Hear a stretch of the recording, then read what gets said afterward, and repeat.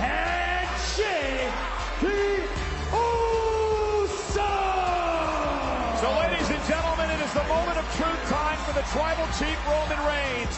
Jimmy and Jey Uso, the cousins of Mr. Reigns, will put the Tribal Chief on trial right now on Friday Night SmackDown for all of his past transgressions. And listen, Cole, I've got a number of things I could say right here, but I'll start with this one. You simply cannot just show up one day